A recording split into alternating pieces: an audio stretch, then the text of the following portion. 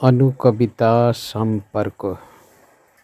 সম্পর্ককে ঠিক রাখতে হলে মাঝে মধ্যে যদি অন্ধ হতে হয়, তাতে কোনো ক্ষতি নেই। আবার কখনো কখনো বধির হয়ে যাওয়া আরও ভালো।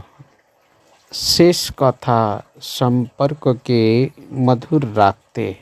বোবা হয়ে মান অভিমানকে হজম করা শক্তি মানুষকে দেবতুল্য করে তোলে নমস্কার মুরলী চৌধুরী